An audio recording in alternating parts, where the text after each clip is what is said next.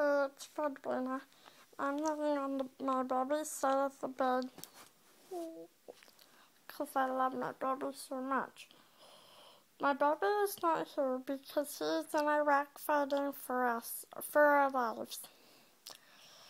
Please pray that he will come home safe. Okay, sorry. Now I have some pictures that I'm going to show you. And they're on his wall, but they might be hard to see, I don't know. So number one, then groups of three pretty much. So here's number one.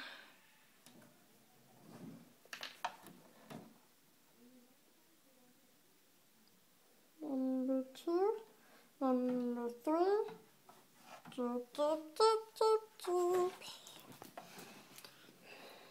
number four, number five, number six, number seven, eight, nine. Lots of pictures. Ten, eleven, twelve, thirteen, fourteen.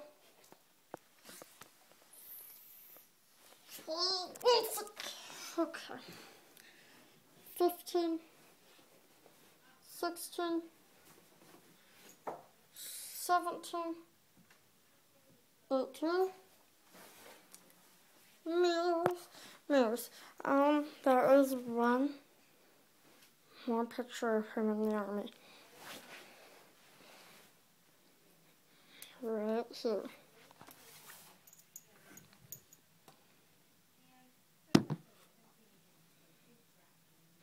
My baby is right. Gotta find it. They look so much alike. He is right. That one.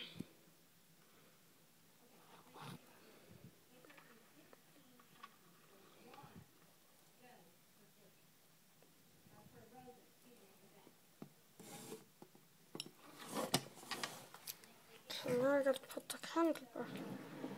Now I'm gonna turn one light off. So I'm reading a story today. Well, it's really a long story. It's a letter to Mr. Robert Gates. who's the head of the army or something. He's the one that has been sending soldiers to Iraq.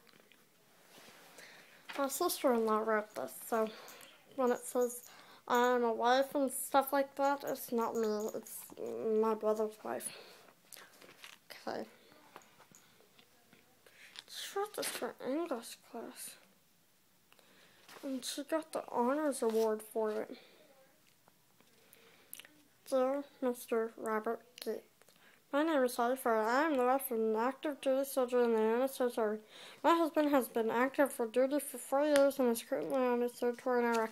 Oh, wow, that's a lot. Tour 2 consisted of 15 months of pure hell in Iraq and consists worry for our families back home. Oh. On April 11, 2007, you extended the length of deployment for active duty military oh, duty is a funny word. Duty military due to the raging war in Iraq.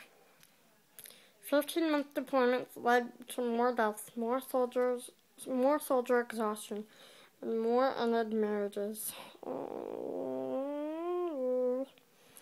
All of which I witnessed firsthand. Wow. 15 month deployments were a ridiculous expense on the lives of our American soldiers and their families. The August 1st, 2008 effective date of a shortened 12 month deployment raised uh, ho- the hopes of many soldiers and their families. It raised the hopes of many for my baby coming home, but Mr. Robert Gates wouldn't let him. Hmm. Unfortunately, what the press and media did not release but was the soldiers who had already been deployed previously to a speech on a shortened, shortened, shortened, shortened.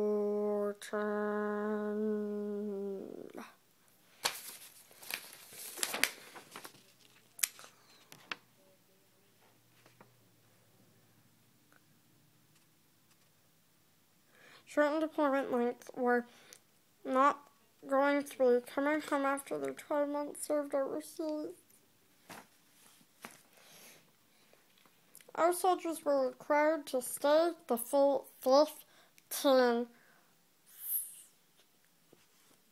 months because they deployed prior to the August 1st, 2008 effective date. The length of the deployment continues to be a controller Contro controversial subject. Controversial subject that is not going to be given enough attention to, in my opinion.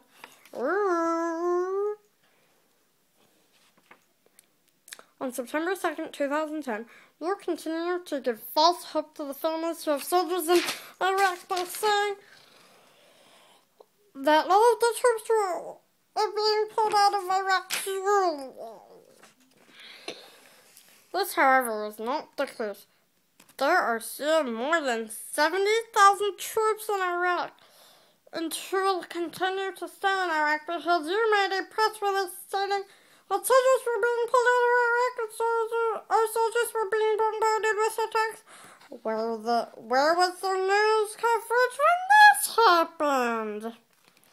Mr. Grace, you must assume I am another military wife who thinks deployment is not fair and lasts too long for my own selfish reasons, but I can assure you that I am amusing.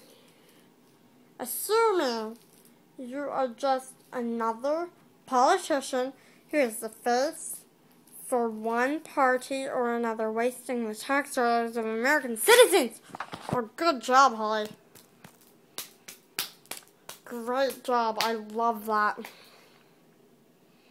Now notice that now of the pictures that I showed you of my baby are of him at home. Most of them are at hotels where he is being stationed. And that's because he's never home. And I better go because I don't want to have waterworks in front of you guys. Okay. Thank you for listening. And please pray that she will come home safe, please. Thank you. Bye.